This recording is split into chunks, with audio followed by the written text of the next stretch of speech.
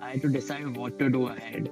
Um, an MBA made the obvious sense, and uh, you know, but I always wanted to get some work ex before going for an MBA. It was always it would always be beneficial, right, to get some work ex before going for an MBA. Um, and I like the flexibility that the YLP option gave me there. Um, to, you know, get some work ex before joining full time. Round was um, one essay and my previous academics, 10th, 12th, college, everything. Um, the academics, well, I think that was fine. Uh, the essay part was uh, a bit of a hassle to go through because uh, I think we could choose through either writing about uh, the personal life or my future aspirations, and um, I really needed to nail down uh, what what would uh, look better on the essay. I, I remember um, you guys are assigned, you know, one. I think Charul to me, she was pretty helpful um, we used to go through iterations of the essay multiple times, back and forth, back and forth. Um, the second round, I think, was the GMAT score and a recommendation and another essay, if I'm not wrong. Right. Um, which again, Charul helped me with. Uh, she also helped me really craft my resume to the point where it looked very professional. Mm-hmm. First is the essay, which um, I think you guys did a really good job in helping me out with and uh, which I don't think would have been possible without your, uh, you know, advice. Because to put down everything in 300 words to really condense it and make it impactful um, was a bit tough to do on my own. Hi, uh, I am Khushbu Agarwal, an educational entrepreneur and co-founder at ISB Mantra. Today, we have the pleasure of speaking with Yug Philip Shah, Yug has been admitted to the YLP program.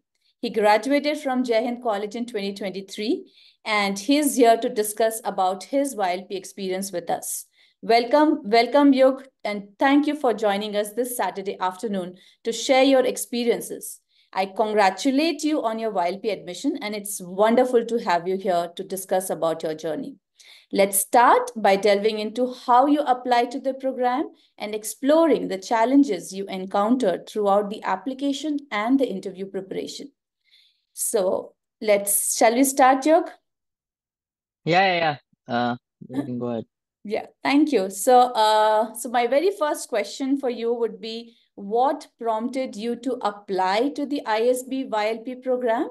And at what stage of your life did you make this decision? Uh, well, you know, I just started my final year in college and um, I had to decide what to do ahead. Um, an MBA made the obvious sense, and uh, you know, but I always wanted to get some work ex before going for an MBA. It was always it would always be beneficial, right, to get some work ex before going for an MBA. Um, and I like the flexibility that the YLP option gave me there. Um, to you know, get some work ex before joining full time, and also knowing that you have an admit, so you can sort of take some uh, you know uh, risks in your career um, which you typically would not be able to if uh, you know if you didn't have an admit in hand something to fall back on right? And uh, yeah that's that's pretty much uh, when i made the decision and i think i applied back in uh, august 22 yeah August 22, I think that that was when ISB, uh, you know, for the first time, they had their first round of stage one. So earlier, yeah. they always uh, had the stage one deadline only in December, uh, sorry, in March uh, every year. That that's interesting. So and uh, so what?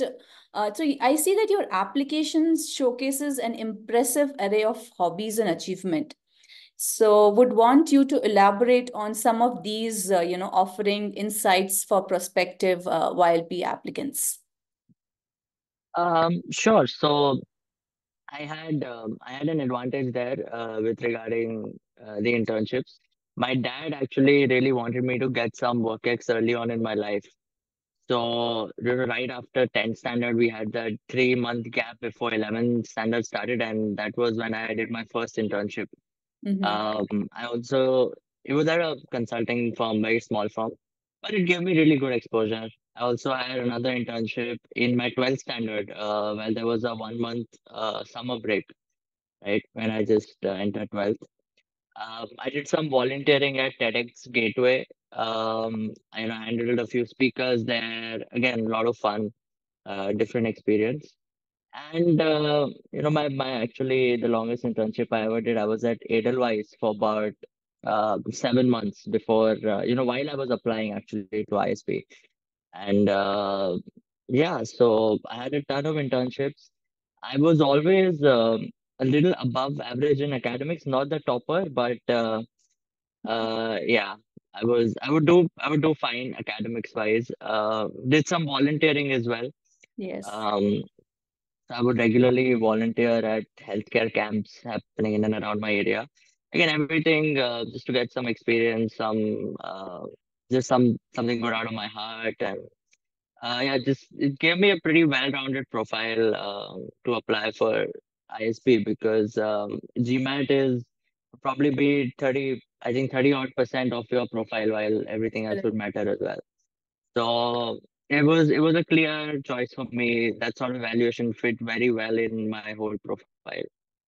Yes, and that's very well, uh, you know, uh, seen in your application, like how you have used your uh, extracurriculars. So you rightly mentioned that, uh, you know, you didn't jump into big things, but you uh, managed to do small uh, internships and the opportunities that you got, right, from your family business to the opportunities in and around, you know, your area. So that's interesting. You thank you so much. And uh, so I also see that, you know, the YLP journey, you know uh, the YLP journey comprises three stages and it's very demanding. One has to, you know, be aware about the three stages. It's demanding, it's it requires a lot of patience and dedication. So how did you manage each stage each stage and how challenging uh, did you find the process, the overall process? Um, yeah, sure. So, you know, when uh, when I applied August 22, my result wasn't going to be coming until December 23. So obviously it was uh more than a year of waiting and applying. So I think first first round was um one essay and my previous academics, 10th, 12th, college, everything. Um, the academics, well, I think that was fine. Uh, the essay part was uh, a bit of a hassle to go through because uh, I think we could choose through either writing about uh, the personal life or my future aspirations, and um, I really needed to nail down uh, what what would uh, look better on the essay.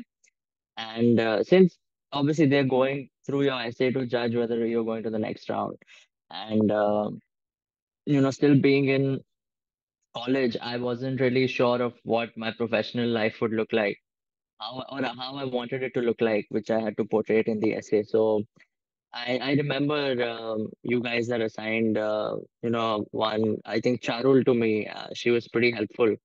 Um, we used to go through iterations of the essay multiple times, back and forth, back and forth. Right, Um, that was yeah. I think that was the first round. Um, the second round, I think, was the GMAT score and a recommendation and another essay, if I'm not wrong.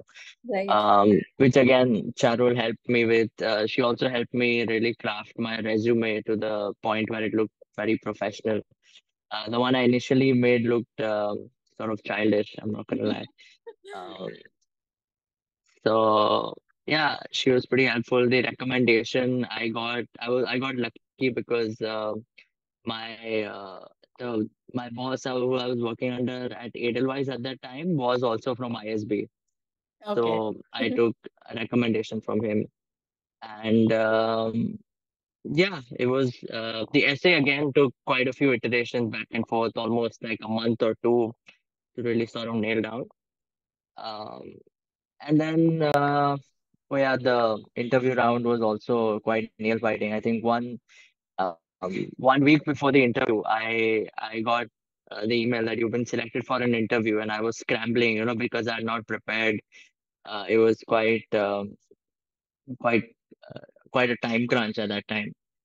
So again, I think I reached out to you guys, and you guys connected me to uh, Dr. Naveen Das. Also, Vikram also took an interview, and um, I also had a mock interview with one ISB alum. Right, Um, all of that was pretty helpful in building up my confidence, really nailing down my my answers. Um, what was surprising was that my actual interview questions was barely it resembled uh, what I did in my mock, but the mock really helped me uh, at least get the confidence of knowing and going in and you know, just uh, treating it like a conversation than an interview, which which I think really helped my case. That's that's interesting, and that's what uh, you know we always tell to our applicants that uh, when you uh, prepare with us for the interview, it's the approach that you have to build in. And you rightly mentioned that it's not the same questions that were asked, but then you had the uh, you know approach on how to answer different type of questions that are asked in an interview. Glad glad to know about it, and glad uh, that you took our services to all the three stages uh, of your YLP preparation. So where uh, did you hear about ISB Mantra and, uh, you know, how was your overall experience uh, working with us?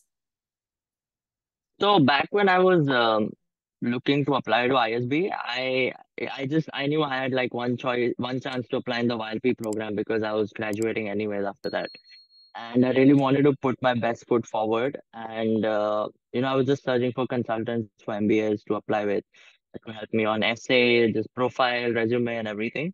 And I came across you guys. I saw that Vikram was previously at ISB, and so was uh, Dr. Naveen, right? And I said, who better to help me apply than uh, you guys, right? Since you are ISB focused, uh, you guys would probably know the best. Uh, and I, it was a no-brainer after that. I think I had a call with you guys. I had a call with Vikram, and uh, yeah, and then I just signed up immediately. That's that's uh, that's so good to hear about the confidence that Yeah, you yeah. have with ISB Mantra before signing up, and it's uh, it's it's really uh, you know uh, it's really grateful. It's really a pleasure for us when uh, you know there is an admit and uh, when someone has taken our service for all the three stages, especially. That's interesting. And uh, so, uh, what's your uh, plans? What are your plans for the next two years before commencing your course at the YLP program? So I am um, currently working in a venture capital fund called ATI Ventures as an analyst and investment team. And I plan to be here um, until I join ISB. Uh, it's been a really great learning curve. I've I've been interacting with a lot of smart founders. I've been doing some really good work under a very good uh, boss. Mhm. Um, and um, I don't I don't plan on leaving. Uh, you know, it's just the more good quality experience you get before an MBA is what will really matter because uh, academics is yeah sort of a part of it, but um, in the end, a lot will also depend on the quality of your work ex. And uh, I believe I'm getting some really high quality working experience where I am right now. Okay. So you may want to defer it to next year. Like 2025 is your admit, uh, like the class, but you may want to defer it. You you're gonna decide it maybe, I know how it happens at your workplace. Yeah. Yeah, yeah, yeah. That would that And would that's yeah. that's so interesting because while you are working, you are already secure. You know that uh, you know, if there is uh, something you want to do, then you have an ISB degree in hand. So I think that works so much in favor, uh, uh, you know, to have this uh, well before, uh, you know, while you're working. That's that's there. Yeah, I mean, uh, you know, it would really help because uh, when you're in the study zone, when you're in college, you're getting done with your GMAT, you're getting done with all the application part of it, and uh, it would really be tough while you're working to do GMAT, do the application, the essay, and everything. Right. So it was sort of a no-brainer to apply to the YLP to get everything done with when you're in that study zone, in the academic zone, Right. as opposed to when you're out in the real world, you're working and you barely have time. True, true. So did you happen to like tell this to your colleagues that you are already in YLP admit or you would, uh, you know, want it to be not disclosed uh, to the uh, team? Like, how is it? No, no, I've already told them that I'm a YLP So that that that's that's such a good, you know, you would feel that's what I wanted to say, you know, that it feels such a secure feeling when you have an admit while you're working. You know what you have to do Yeah. after two years, right?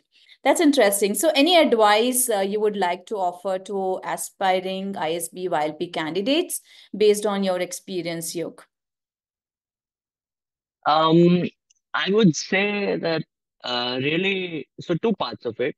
Mhm. First is the essay, which um, I think you guys did a really good job in helping me out with, and uh, which I don't think would have been possible without your, uh, you know, advice. Because to put down everything in 300 words to really condense it and make it impactful, um, was a bit tough to do on my own. So Mhm. one would probably be nailing the essays since that those are uh, a huge part of your application. The second is probably do some stuff outside of college or school or wherever you are, so that uh, you know you have you're not you're a bit differentiated from the others that apply. You're not the same uh, guy. While academics also matter, um, this, this would probably give you a well-rounded overall profile to uh, really apply to apply with. No, that's that's true, and that is uh, that's very well seen in your profile.